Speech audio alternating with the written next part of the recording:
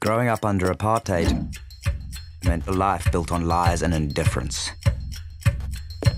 But unless we got up from our privileged white lives and did something, our words were meaningless.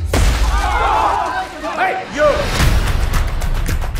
You are sentenced to imprisonment for 12 years.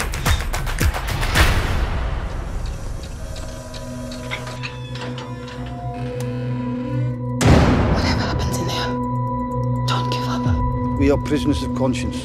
Well, we're prisoners of war. I won't give up.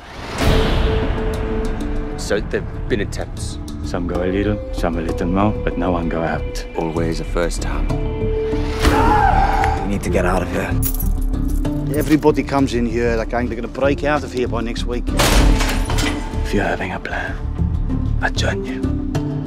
We've got something. We make keys from wood. Total crazy. I love it. Searchlights covers every inch of the yard. Boers with guns. There's nothing they'd like more than to pump holes into you. There is something, and I will find it. I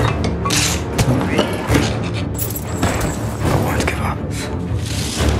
Don't you ever sleep through my bed again! I won't give up. Why won't you come?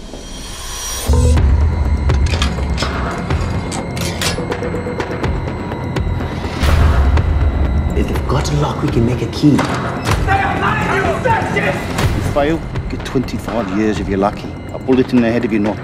Don't shoot! I won't give up. We're not running away. But stay, fight. This is how we fight.